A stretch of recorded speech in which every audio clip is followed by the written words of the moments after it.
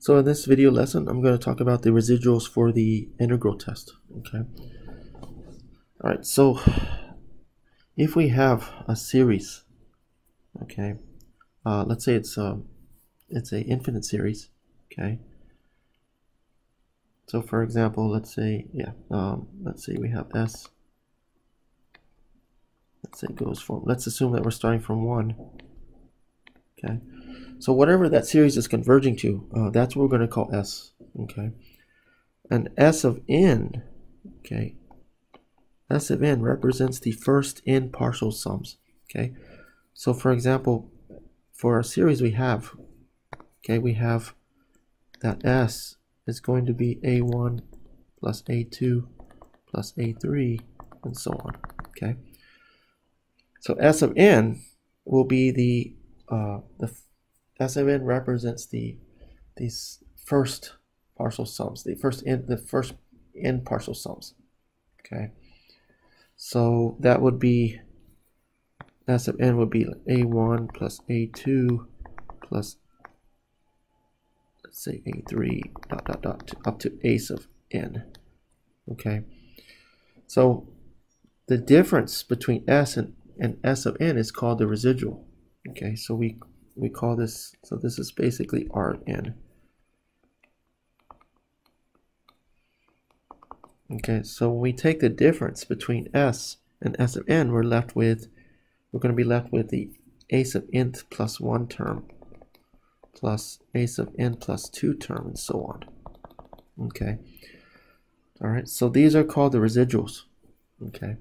And it can be shown, it can be shown that these are going to be less than or equal to the integral from n to infinity of whatever the corresponding function is for that series.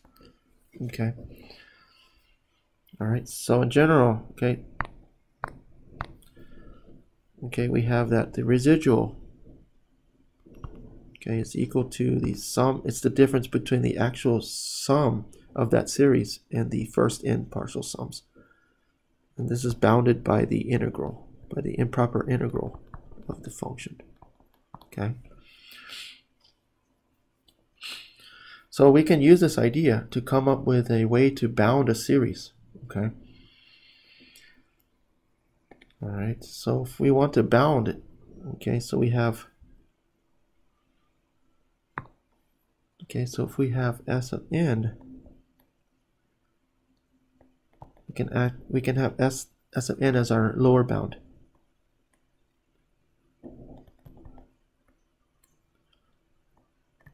Okay, and then the upper bound will be whatever s of n is plus the integral from n to infinity of that function. Okay. So this is our lower, this is what we call our lower bound. Okay, this is our lower estimate, and this is our upper bound. Let me go and write that out.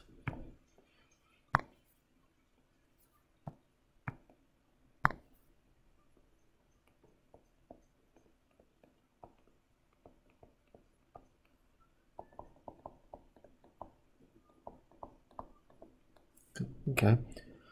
So using the lower and upper bound, this is a way we can approximate a series. Because a lot of times we don't know what the series will converge to.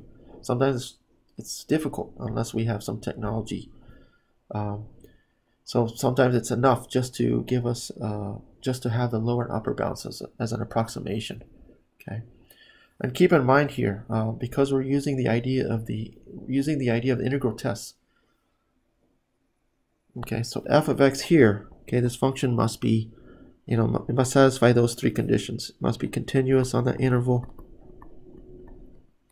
It's got to be positive and decreasing okay. On those on that interval that we're on. Okay. All right so let's look at an example of this. Okay. Okay let's say we want to uh, want to find okay.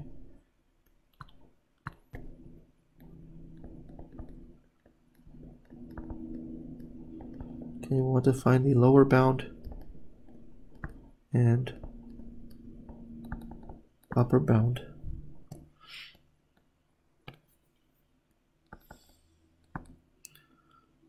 for series going from n equals 1 to infinity of 1 over n to the 4.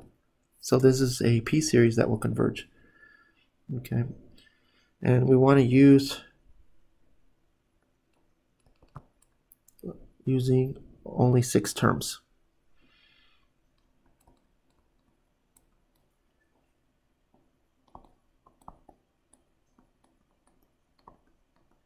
Okay.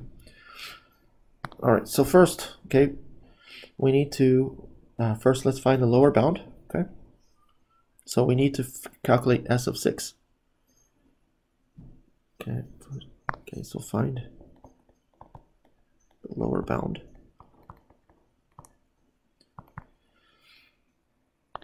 Okay, so we need to calculate S of 6. So this all this means is that we're going to calculate the series going from 1 to 6. So six terms, okay? If we're starting from 0, then we need to go from 0 to 5, right? Okay, so that's going to be... Okay, and you can do this in your calculator. Um, I sent out, um, I, yeah, there's a video on how to do this, okay? Or you can do it by hand, okay? So we end up getting, okay, let's see. So this will be approximately, let's say we're using four decimal places. Okay, so, all right, so that'll be our lower bound. Okay, so now to get the upper bound, we need to calculate the integral and then add that to our lower bound, and that will give us our upper bound. Okay, all right, so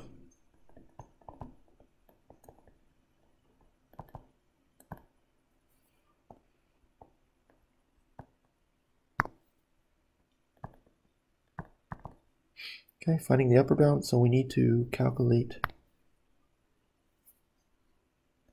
the integral. Okay, we're going from 6, so it's an improper integral. Okay, we're doing with 1 over n to the 4, so let's write this in terms of x. Okay, so since this is an improper integral, remember that we have to rewrite this in, ter in, in terms of a limit. So this will be the limit as our upper bound goes to infinity from 6 to b of 1 over x to the 4. Okay. All right, so now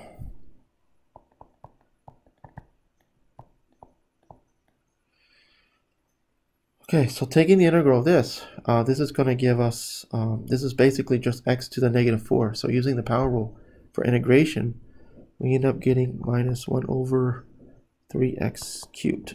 Okay and we're going to evaluate this from 6 to b. All right, so then let's see.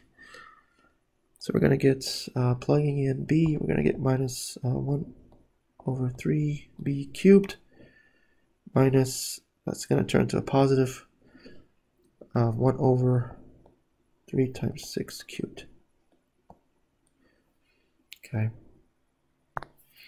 So this, okay, this is going to go to 0. So that means we're going to be left with uh, 1 over 3 6 cubed. Okay, so that's approximately 0 0.0015. Okay, so that's coming from here. Okay, so now we're going to take that um, and add it to our lower bound. Okay, so we have see. So we have S6. Okay, that was our lower bound. This is going to be less than or equal to these, the actual sum of our series. And that's going to be less than or equal to S6 plus this. Okay. So this was N6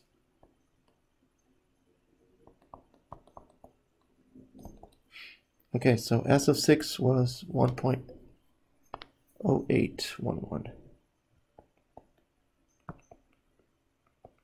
Okay. And then we have 1.0811 plus this, which was 0.0015. Okay. All right, so then, okay, that gives us, okay, that's our lower bound. Okay.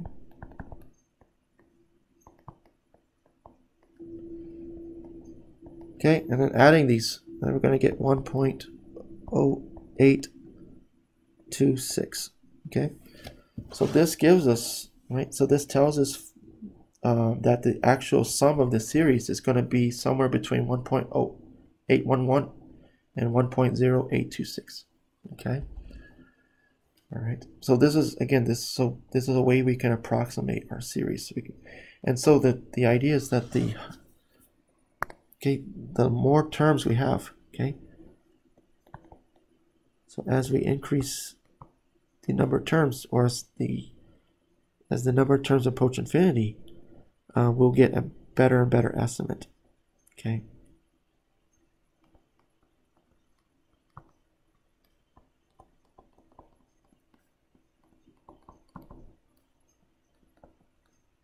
Okay, so our balance will get tighter and tighter.